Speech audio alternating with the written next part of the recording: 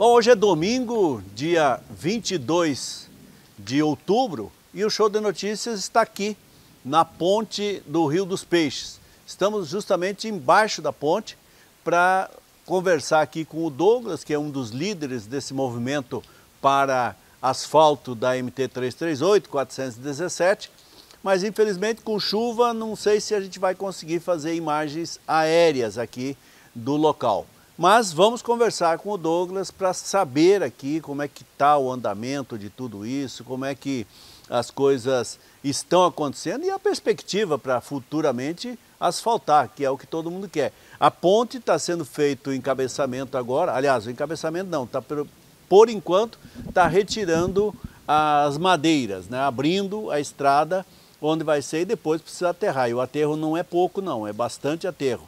Então nós vamos conversar com o Douglas aqui, que é líder desse movimento, sobre todos esses assuntos.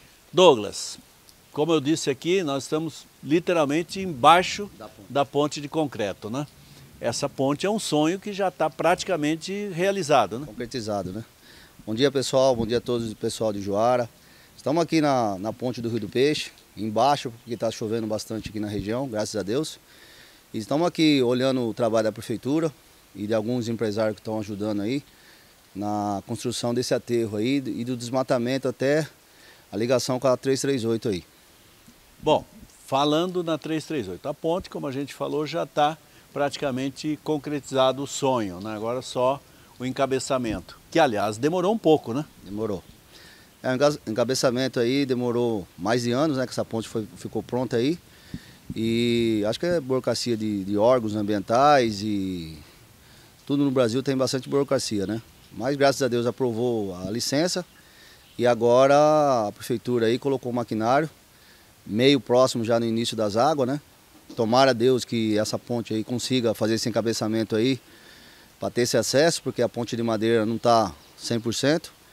E estamos aí, rezando aí, torcendo aí para dar certo esse encabeçamento aí e o pessoal consiga passar em cima dessa ponte aí. Bom, me dá uma real, Douglas, do que acontece com os projetos do asfalto? Então, pessoal, né, a gente tem cinco projetos, na realidade, é, feito e pago pela associação da Amplac e pelos doadores que doaram esse dinheiro para ser concretizado essa, esses projetos aí. O primeiro lote, que vem de Juara até Águas Claras, o segundo lote é da, Águas, da entrada da Águas Claras ali até no trevo da Beira Rio, que é a 338, vai até Juruena. E ali naquele trevo eh, começa a 417, que é o terceiro lote, que vai até Paranorte, até dentro do distrito da Paranorte. E o quarto lote, que é da, da 338 aí virando a Beira Rio até a entrada do Banco da Terra. Então são quatro lotes estaduais, que esse aí a associação já protocolou na Cinfra, dois já obteve êxito, está aprovado na Cinfra, sendo que está faltando aprovar o lote 1, o orçamento que está. Porque o, o que, que é um orçamento? O orçamento da obra Cada quatro meses o DENIT emite uma nota, é, uma tabela de preço. Então tem, altera os valores. Então a, o lote 1 foi aprovado, mas não foi aprovado o orçamento porque o orçamento é do ano passado que foi protocolado. Então pediu para reatualizar o orçamento e já foi protocolado na CINFRA, deu uma pendência em um, um, cálculo lá que foi feito errado, não sei se o sistema calculou errado, mas já foi corrigido quinta-feira passada. E essa semana aí provavelmente vai aprovar esse orçamento. Então aí a obra vai estar pronta para ser licitada aí pelo órgão estadual que é o governador Mauro Mendes, pelo governo do estado. Aquela questão da mudança de traçado a partir de Juara, que era inicialmente pela Vital Brasil, mas a estrada vem aqui pelas 20 famílias. Como é que está isso? Então, esse, esse trajeto aí que era 18 quilômetros, que era municipal, a estrada, quem saía de Juara para Paranorte andava 18 quilômetros dentro do município, uma estrada municipal para depois ela entrar na 338 lá na 20 Família. Isso aí a gente conseguiu alterar no estado. Hoje, de Juara até Paranorte, Monte Verde, é, é estadual, não tem mais esses 18 quilômetros municipal. O municipal virou onde que era estadual, que é pelo Quatro Marcos ali, saindo lá no, no lixão ali, perto da balsa. Então hoje essa parte está concretizada, por isso que o projeto da Águas Claras foi aprovado. Sem essa mudança aí não ia ser possível aprovar aqueles 30 quilômetros de projeto. Então esses 30 quilômetros estão prontos para licitar e asfaltar. Aprovando agora essa semana o orçamento, está pronto para licitar e, e, começar a obra. Bom, depende de quem? Hoje depende do, do, do poder público, entendeu? A associação fez a parte dela. O que está faltando um pouco aí, que eu estou vendo, um pouco mais da cobrança do, da Prefeitura de Juara, em cima da, desses projetos nossos aqui. E assim foi aprovando a licitação, o prefeito fazer a reunião com o governador. Nós estamos esperando essa reunião já faz 30 dias aí. até agora não tivemos um parecer da reunião. Mas estou aguardando o senhor Carlos Sirena falar que dia que vai ser a reunião para a gente fazer uma carreata aí. Vamos descer para Cuiabá, os líderes desse movimento, em torno de 10, 12 pessoas aí sentar com o governador e conversar com ele. Porque a gente tem várias gravações com ele junto, dizendo que quando tiver com o projeto aprovado, tudo, dinheiro não falta para a obra. Então a gente quer cobrar agora essa parte dele aí. Foi uma promessa que ele fez para a gente.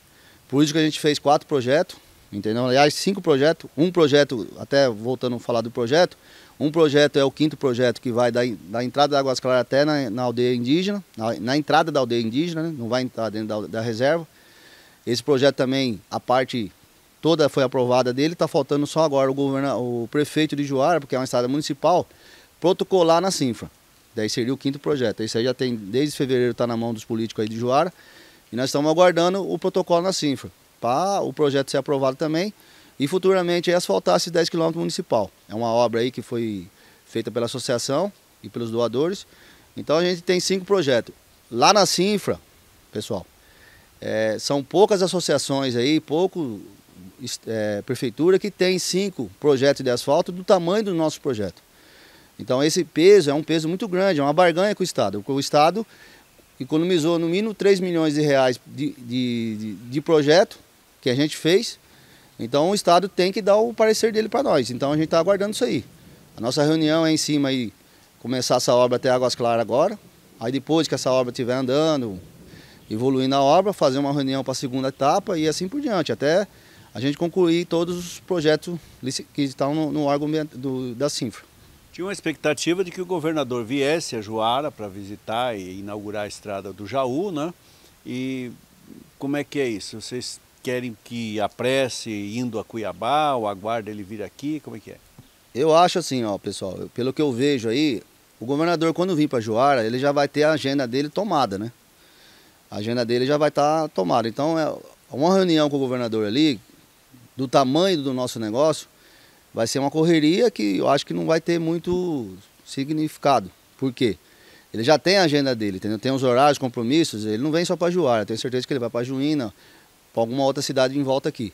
Então vai ser tudo correndo, entendeu? A gente tem que focar em Cuiabá, que Cuiabá está no ambiente dele de trabalho, tem telefone para ligar para um secretário da Sinfa, comparecer na reunião e aí expor todas as demandas que a gente tem e eu acho que ter êxito nessa, nessa licitação aí. Bom, a expectativa então com relação aos produtores, essa aí todo mundo já ajudou, já fez a sua parte, né? E tem muita gente que ajudou, né Douglas? Então, pessoal, essa região aqui é uma região muito populosa de Joara. Eu acho que das linhas de, de, de, de asfalto que tem aqui na região, é a mais populada aí, população aí está aqui, porque tem muito assentamento, pessoas que estão aí no dia a dia, frequentam essa estrada, vivem nesse sofrimento da estrada aí, que chega o período chuvoso, a estrada infelizmente não fica é, agradável para dirigir, porque realmente a estrada de terra, você sabe que a época da seca é o poeira, nas águas é o barro. Mas assim, o que eu vejo, que agora a gente tem que começar essas obras a acontecer e dar sequência no nosso projeto, que nosso projeto não terminou ainda. A gente tem mais 34 quilômetros até na, na entrada ali da, da Paranorte, até na, na divisa com Monte Verde. Para ligar, que Monte Verde já fez a parte dela do, no, em projeto, não está aprovado ainda, porque protocolar esse ano, mas a parte deles, o combinado, o Ednilson Marinho, lá, prefeito de Monte Verde, fez, que é de Monte Verde até a divisa do, de Juara. Então a gente tem que chegar a, a Monte Verde. De que jeito? Falta 34 quilômetros. Nossa ideia é o ano que vem arrecadar em torno de 450 mil aí e chegar até Monte Verde.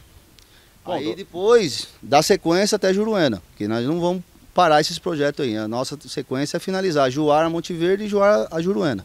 Aí sim, concretiza todos os projetos dessa região aqui. Bom, como se disse, Douglas, é uma região bastante populosa, né? E tem um interesse geral, né? Não só do Estado, mas também, é, principalmente do município, né? E do Estado, claro Mas assim, ideias, sempre surgem ideias diferentes, debates às vezes, né? desencontro de informação e tudo, mas o importante agora, mais do que nunca, é unir, a união de todos. Né? É o que eu mais quero agora aqui, que o, a união de todos. A gente fazer um grupo forte, determinado para esse projeto acontecer. E a gente pede muita ajuda para o Carlos Sirena, que é o prefeito de Juara, para ele olhar bem para nós aqui e ajudar nós, que a gente precisa da ajuda dele. Ele é a pessoa que está no poder aí, e nós dependemos dessa ajuda dele aí. É o que mais a gente precisa do Carlos Sirena agora, marcar essa reunião com o governador, acompanhar nós e cobrar junto com nós. E entrar junto com nós nesse, nesse, nesse, nessa linha de projeto aí, que vai ser, com certeza, Juara vai ter esse asfalto até Monte Verde. Tá, uma pergunta que eu preciso fazer para você ainda. Esse trecho de 10 quilômetros, Águas Claras, até a entrada da aldeia indígena, é, é municipal? Teria ainda que estadualizar ela ou não? Não, esse pedaço aí é municipal, o nosso projeto vai ser em cima do municipal. É uma estrada, são estradas chamadas Agrovila. Essa semana o governador teve em Sorriso, fez 18 quilômetros, de Sorriso a Vera. É uma estrada municipal. Lá está entrando 50%, 60% do estado e o restante a prefeitura está fazendo doação. Aí, claro que aqui em Juara não vai ser diferente disso. A prefeitura vai ter que fazer uma parte dela, o, estado a parte dela e, a, vez em quando, algum produtor também entrar com mais uma, uma porcentagem para concretizar esses 10 quilômetros. Mas isso aí também é extrema necessidade. Ali essa região aí tem bastante bacia leite, leiteira, é muito, assenta, muito é, sitiante que está ali, produção de leite. E, e, tem o povo indígena também, que é, é numeroso nessa região aí e, e produz bastante castanha do Pará.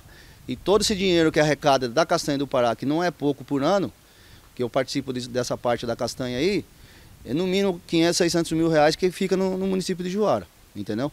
Então tudo é importante, essas, essas, essas estradas no município. Alguma coisa que eu não lhe perguntei que o senhor gostaria de falar? Não, foi ótima essa entrevista aqui. E quero agradecer a todos aí que confiam no nosso trabalho. Esse trabalho aí, pessoal, é, é sempre estamos em cima disso aí. Não, nós não vamos abandonar esse, esse grupo aí. Por mais que às vezes quando tem diferenças no grupo, mas eu tenho certeza que as diferenças é, vêm para o bem, não vêm para o mal. E nós estamos aqui, ó, trabalhando, domingão, e uma chuva abençoada de Deus aí, e estamos aí nessa expectativa dessa ponte logo passar por cima dela aí. Bom, faço minhas as suas palavras, né? Conto sempre com o show de notícias, estamos aqui num domingo, chovendo, né? eu e Marcelo aqui para trazer essas informações, porque justamente somos parceiros e estamos à disposição. É, quero agradecer demais o show de notícias, que sempre teve parceiro com nós, e é uma mídia que está sempre levando informação para todos da região. Isso é importante, porque se não tivesse essas mídias aí, nós não ia ter o, a aceitação e o, e o movimento que foi feito em um período curto. Porque hoje, pessoal, nós estamos com novembro, vai fazer um ano que nós estamos mexendo com um ano, não, novembro agora vai fazer dois anos que nós estamos mexendo com esse asfalto aí. Começou novembro de 2021. E nós estamos em novembro de 2000 e vamos chegar em novembro agora de 2023. Então tem, vai fazer dois anos que a gente começou e estamos com 170 quilômetros de projeto dentro do órgão da Sinfra aí no estado do Mato Grosso. Obrigado.